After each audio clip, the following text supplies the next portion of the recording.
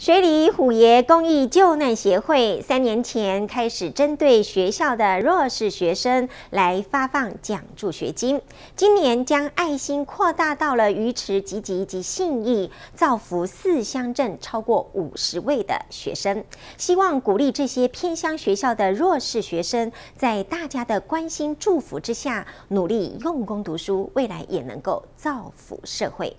学底虎爷公益救难协会第三站发放奖助学金的乡镇，来到了集集镇，透过集集镇公所以及代表会和各校校长的协助，将奖助学金顺利的发放给有需要的学生。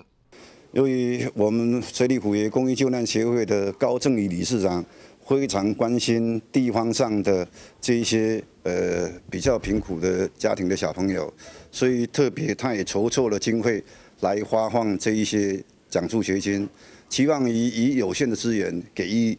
呃小朋友最大的鼓励。啊，那每年哈都会哦来我们集集这边哈哦针对哈啊表现优良而且有需要的同学哈颁发颁发这样子的呃奖助学金。好，那希望可以给他们在呃学业上哈或体育上有所鼓励。好，那也期许他们在日后哈啊到社会里面哈有所成就的时候，也可以有再回馈他们的爱心哦，让这样的爱哦一代一代的传下去。虽然一位学生两千块的奖学金不算多，但却是水里虎爷公益救难协会对这些弱势家庭学生的关心鼓励，那校方以及参与的两位议员都感到很贴心。学基金会还跨区来到我们集集镇哈，来颁发这个奖助学金给我们小朋友哈，那真的是非常难得。那也希望哈，他我们基金会能持续的来协助我们学子，不只是说哦是发放水里学区的学校，他还普及到哦鱼池。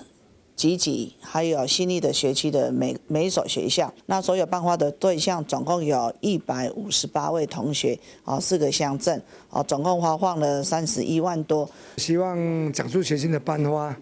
能够来鼓励哈我们在地的比较弱势的小孩子，